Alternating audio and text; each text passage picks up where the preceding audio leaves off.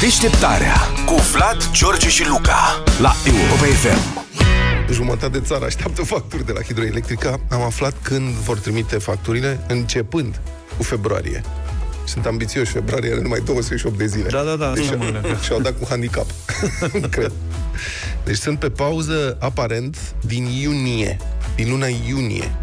No, eu nici nu mai știu de când am primit factura aia da, de la, la Hidroelectrica și acum au ajuns la peste jumătate de milion de abonați și sunt foarte încântați. Doar atât? Da, au peste 10% din piață, înțeleg. Mă sunt pe locul 3. mai mulți. Compania anunță că nou sistem de facturare, facturare este aproape gata, ceea ce e adevărat, când intri pe site, zice, gata, am schimbat uh, sistemul de facturare și stăm... Și uh, spun, de asemenea, citez, suntem și în faza dezvoltării unor, unor aplicații pe telefon. Unor, stai așa, nu, că sunt mai Da. multe sisteme de asta, probabil că la asta s-au referit. Cum adică mai, mai multe sisteme? Păi e iOS și... A, la asta te referi? Da, păi, na. Este o aplicație pentru două sisteme de lucru, nu?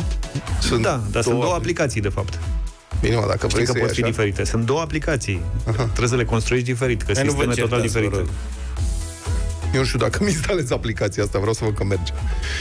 Um, un expert în energie citat de Observator News spune așa Au existat din calculele mele, spune dânsul, circa 17 modificări legislative în ultimul an care au afectat direct modul de facturare.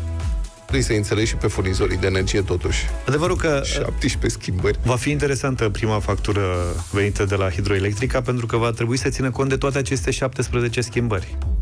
Și Da, dacă cred până că acum da. nu înțelegea nimeni nimic din Da. facturile la energie, asta va fi cea mai tare factură din istorie. Cred că primim un caiet studențesc de factură, Da, cu exact. 100 de file, Un top de la de hârtie, în cu manual despre cum să-l citești. Da.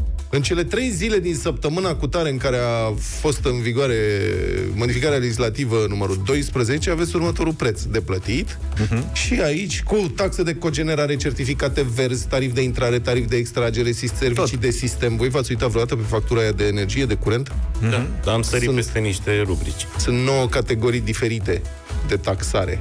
Este ceva inimaginabil. Și după aceea și prețurile variază în funcție de anumite perioade. Uh-huh. Adică te întreb de ce mai trimiți indexul?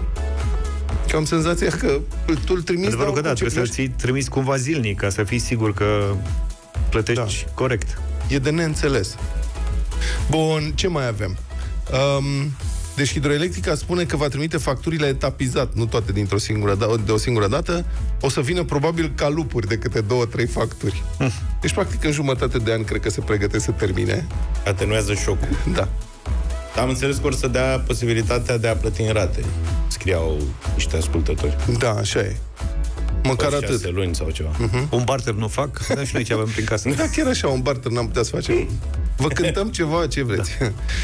Da. compania asta a raportat venituri de aproape 7 miliarde de lei în 9 luni din 2022, în creștere cu aproape 50% față de 2021.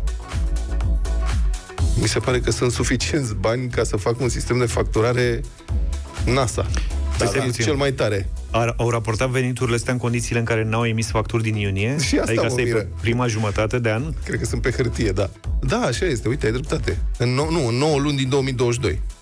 În Păi creștere și- cu aproape 50%. Dar ei n-au mai trimis Ce au facturi. încasat că din iunie n-au mai trimis ca- facturi. Au mai trimis și în octombrie, să știți. Ce, la prieteni sau ce? Avem, mai, avem La ascultători aici care scriu. Că Au mai fost, Auzi, probabil sau- au mai scăpat. S-au trimis facturi pe pile. Da. pe sub mână au plecat facturile. Între timp, la Alilantă, companie mare Enel, un nene din Ajud a primit o factură la electricitate de 376 de milioane de lei. Noi, adică 76 de milioane de euro. Cred că râde și acum. O pizzerie, curent pentru 5 luni. Acum, sincer, la ce prețuri s-au vehiculat în piață la energie în ultima vreme, eu mă întreb dacă omul n-a zis, mamă, da, ce s-a scumpit. Adică, poate i s-a părut plauzibil. Ce 376 milioane de lei? Frate, nu știu dacă chiar s-a scumpit energia de data asta. Deșteptarea cu Vlad, George și Luca la Europa FM.